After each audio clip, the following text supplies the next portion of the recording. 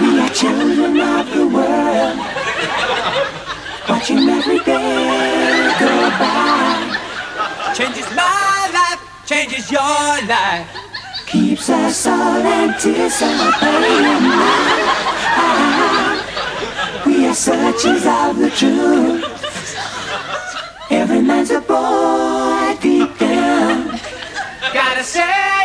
How you mean it. Yes, you've guessed it. It's the world famous Bee Gees, who have sold more records than any other group called the Bee Gees in the entire history of the world. And as you know, the boys very seldom give interviews. But they're here tonight to answer all the in depth questions that you at home don't give a damn about. well, guys, you're in the middle of a world tour and have just finished sell-out concerts here in London. Why is it, do you think, that millions of people love your music? Cause we're living in a world of. I see.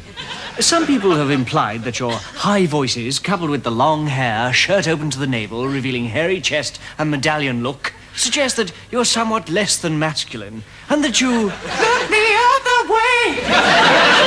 Exactly. What do you say to that?